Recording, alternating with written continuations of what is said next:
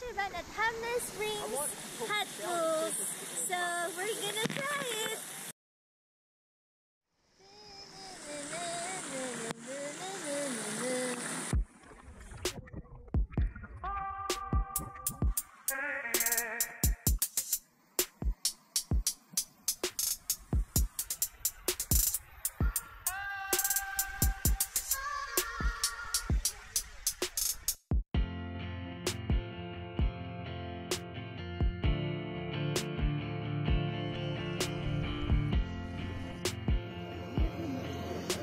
this way.